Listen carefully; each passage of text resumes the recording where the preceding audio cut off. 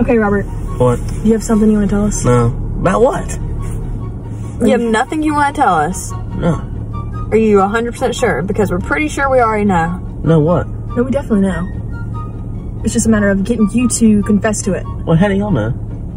Because we just know We everything. know everything. We're sisters. I don't, well, uh, never mind. I, I mean, I haven't even done anything, so y'all, Well- y'all don't have anything on me. You got like three seconds. Are you sure you don't want to change that answer before we get out and see mom? How do y'all know that?